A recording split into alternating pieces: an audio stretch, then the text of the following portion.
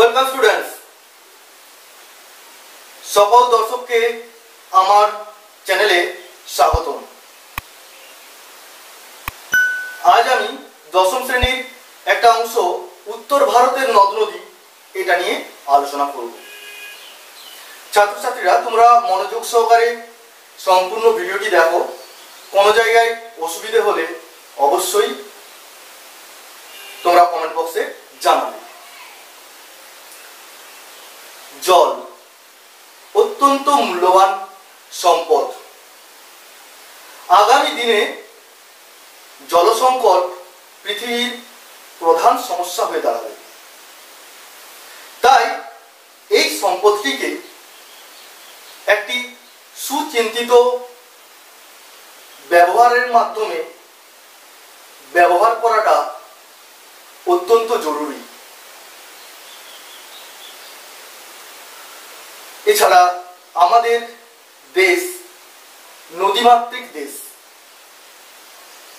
স্থলভাগের জলভাণ্ডারের মধ্যে নদী হচ্ছে অন্যতম। কেন অন্যতম? না, এই নদীগুলো প্রত্যক্ষ ও পরোক্ষভাবে শিল্প, কৃষি, জনপদ, সভ্যতা, পরিবহন, সংস্কৃতি প্রভৃতি কিন্তু বিকাশ ঘটিয়েছে এই নদী। নদীর উৎস প্রবাহিত অঞ্চল ও তাদের বৈশিষ্ট্য অনুসারে ভারতের নদ নদীকে প্রধানত দুটি ভাগে ভাগ করা হয়। একটা হচ্ছে উত্তর ভারতের নদী আর দ্বিতীয়টা হচ্ছে দক্ষিণ ভারতের নদী। আজ আমাদের আলোচ্য বিষয় উত্তর ভারতের নদ নদী। ছাত্রছাত্রীরা মনোযোগ সহকারে সম্পূর্ণ ভিডিওটি দেখো। আর যারা আজকে নতুন এসেছ, আমার চ্যানেলটিকে সাবস্ক্রাইব করে নাও। তাহলে চলো শুরু করি আমাদের উত্তর ভারতের নদ নদী। উত্তর ভারতের নদ নদীগুলো প্রধানত হিমালয় পর্বতের বরফ গোলা জলে পুষ্ট নদী। বরফ গোলা জল থেকেই নদীগুলি সৃষ্টি হয়েছে। এই নদীগুলি বয়সে নবীন। এখানে যে প্রধান নদীগুলি রয়েছে, সেগুলি হল সিন্ধু, গঙ্গা এবং ব্রহ্মপুত্র। আজকে এই তিনটি নদী নিয়ে আলোচনা করব। প্রথমে আসব আমরা সিন্ধু নদীতে। তাহলে আগে জেনে নিই যে সিন্ধু নদীর গতিপথ। না, সিন্ধু নদীর মোট দৈর্ঘ্য দু হাজার আটশো আশি কিলোমিটার। দু হাজার আটশো আশি কিলোমিটার। এর মধ্যে সাতশো নয় কিলোমিটার ভারতের উপর দিয়ে প্রবাহিত হয়েছে। তোমরা এবার ডিজিটাল চিত্রের মাধ্যমে দেখে নাও, ওখানে সম্পূর্ণ গতিপথটি দেখানো হয়েছে। আর তাছাড়া আমি এটা আলোচনাও করছি যে এই যে সিন্ধু নদী, যেটা ভারতের মধ্য দিয়ে সাতশো নয় কিলোমিটার প্রবাহিত হয়েছে এবং এর মোট দৈর্ঘ্য দু হাজার আটশো আশি কিলোমিটার। এখন কোথা থেকে এটা উৎপন্ন হয়েছে? না, এই সিন্ধু নদী তিব্বতের মানস সরোবরে উত্তরে অবস্থিত সিনকাবাব হিমবাহ থেকে উৎপন্ন হয়েছে। হিমবাহটির কি নাম? না, সিনকাবাব। এই হিমবাহ থেকে উৎপন্ন হয়েছে সিন্ধু নদী। এই সিন্ধু নদীটি সিনকাবাব হিমবাহ থেকে উৎপন্ন হয়ে উত্তর পশ্চিমে প্রবাহিত হয়ে প্রথমে তিব্বতের মধ্য দিয়ে প্রবাহিত হওয়ার পর জম্মু কাশ্মীরে প্রবেশ করেছে এবং জম্মু কাশ্মীর থেকে বেরিয়ে পাকিস্তানে ঢুকেছে। তাহলে ভারতের মধ্য দিয়ে সাতশো নয় কিলোমিটার প্রবাহিত হওয়ার পর এই সিন্ধু নদী নাঙ্গা পর্বতের উত্তর প্রান্ত পর্যন্ত গিয়ে মানে উত্তর প্রান্ত থেকে ঘুরে গিয়ে ভারতের জম্মু কাশ্মীরের রাজ্যের সীমানা বরাবর সীমানা বরাবর এই নদীটি প্রবাহিত হচ্ছে, তারপর সেই সীমানা বরাবর পরিত্যাগ করে দক্ষিণ পশ্চিম বাহিনী হয়ে, দক্ষিণ পশ্চিম বাহিনী হয়ে নদীটি পাকিস্তানের উপর দিয়ে প্রবাহিত হয়েছে। এবং করাচির কাছে গিয়ে সেটা আরব সাগরে গিয়ে পতিত হয়েছে।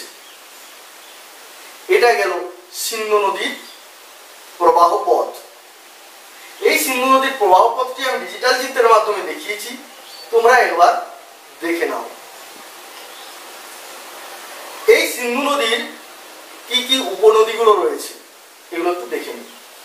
এটাও ডিজিটাল চিত্রের মাধ্যমে দেখানো হয়েছে। তোমরা দেখে নাও। না, সিন্ধু নদীর যে পাঁচটি উপনদী রয়েছে, সেগুলি হলো শতদ্রু, বিপাশা, ইরাবতী, চন্দ্রভাগা বিতস্তা। পাঁচটা কি কি? শতদ্রু বিপাশা, ইরাবতী, চন্দ্রভাগা, বিতস্তা। এই পাঁচটি উপনদী হলো সিন্ধু নদী। ঠিক আছে? এরপর আমরা আলোচনা করব গঙ্গা নদী। না, অসংখ্য উপনদী ও শাখা নদী নিয়ে প্রবাহিত গঙ্গা ভারতের দীর্ঘতম নদী। ভারতের দীর্ঘতম নদী। এই নদীর মোট দৈর্ঘ্য পঁচিশশো দশ কিলোমিটার।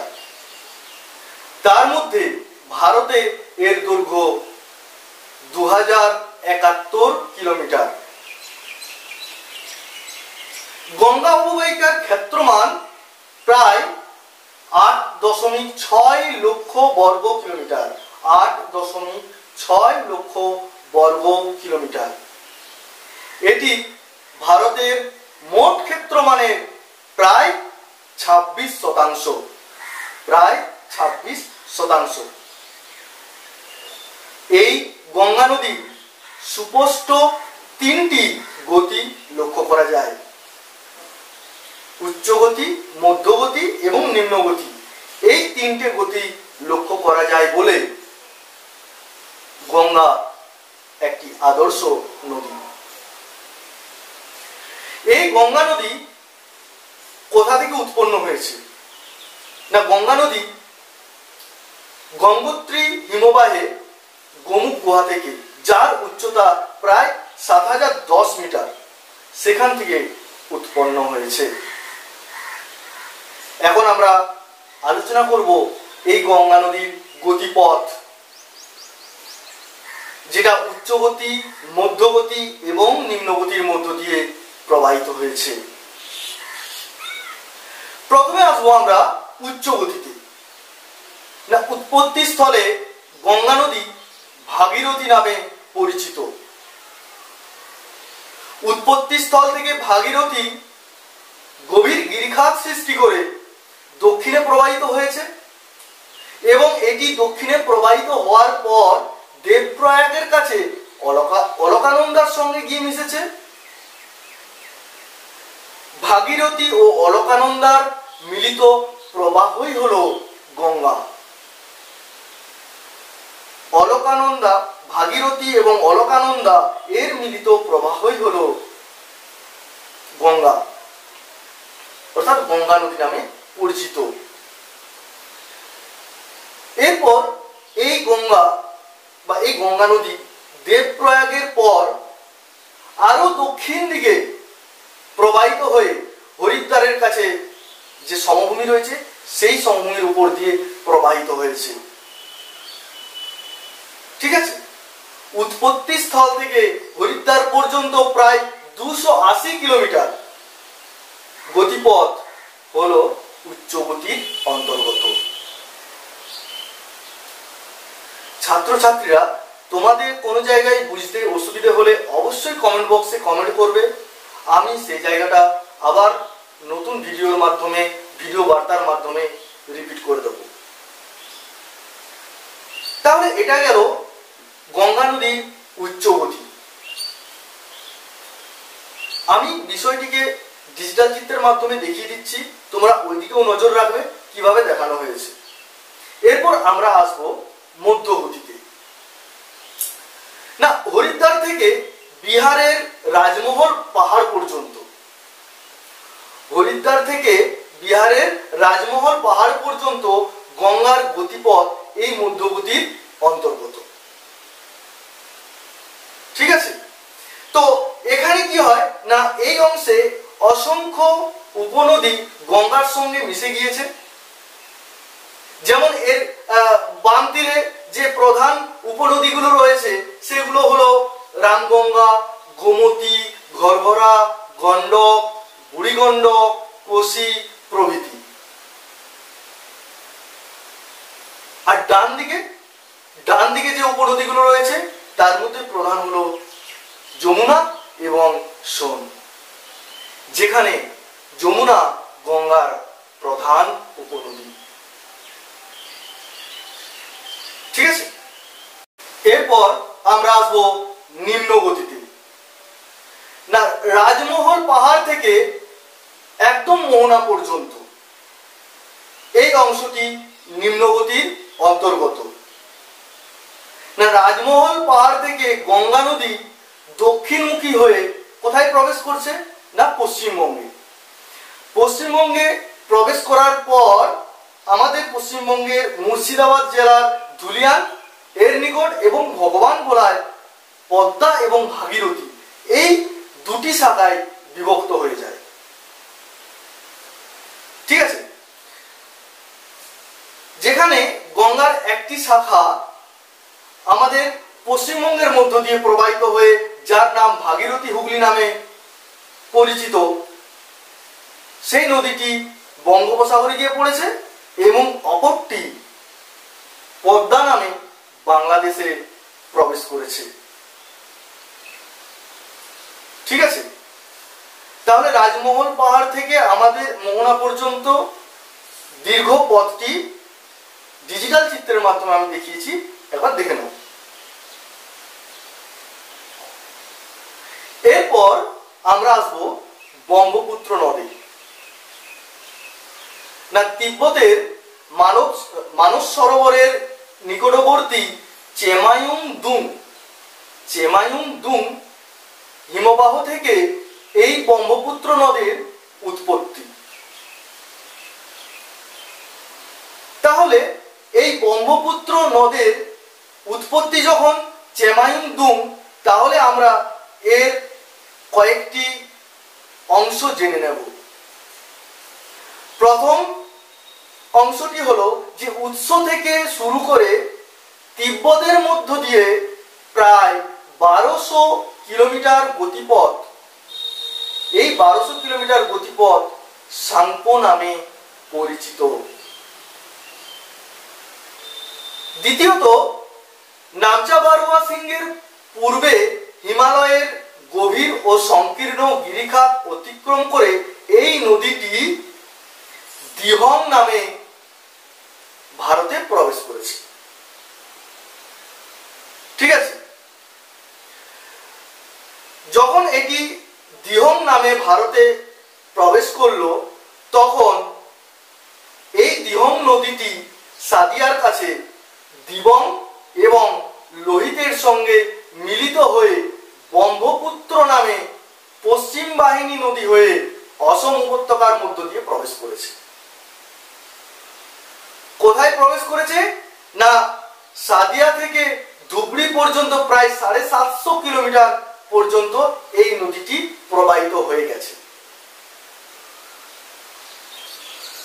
তো এই যে সাদিয়া থেকে ধুবড়ি পর্যন্ত প্রায় সাড়ে সাতশো কিলোমিটার প্রবাহিত হয়েছে, এটি প্রবাহিত হওয়ার পর ধুবড়ির কিছু দূরে এই নদীটি যমুনা নামে বাংলাদেশে গিয়ে প্রবেশ করেছে এবং পরিশেষে গঙ্গার মূল শাখা পদ্মার সঙ্গে মিশে গিয়ে বা মিলে গিয়ে এটি বঙ্গোপসাগরে গিয়ে পড়েছে। এখানে একটা জিনিস তোমরা মনে রাখবে যে ব্রহ্মপুত্র নদের মাজুলি দ্বীপ, এটি হলো ভারতের বৃহত্তম নদী দ্বীপ। অনেক সময় শর্ট কোশ্চেন হিসেবে পড়ে। তাহলে এইটি গেল আমাদের সমগ্র আলোচনা। উত্তর ভারতের নদ নদীর আলোচনা। এই আলোচনাটির শেষে তোমাদের জন্য একটি অ্যাক্টিভিটি টাস্ক দেওয়া আছে। বাড়িতে গিয়ে সেই অ্যাক্টিভিটি টাস্কগুলো করবে। যদি তোমাদের এই ভিডিওটি ভালো লেগে থাকে, অবশ্যই লাইক কমেন্ট এবং শেয়ার করবে। যারা এখনও পর্যন্ত আমার এই চ্যানেলে যুক্ত হওনি, তারা যুক্ত হয়ে যাও সাবস্ক্রাইবের মাধ্যমে। তাহলে আরও পরবর্তী ভিডিওগুলি খুব তাড়াতাড়ি তোমরা পেয়ে যাবে তোমাদের কাছে। আজকে এই পর্যন্তই। সবাইকে আমার ভালোবাসা জানিয়ে এখানেই ভিডিওটি শেষ করছি। Thank you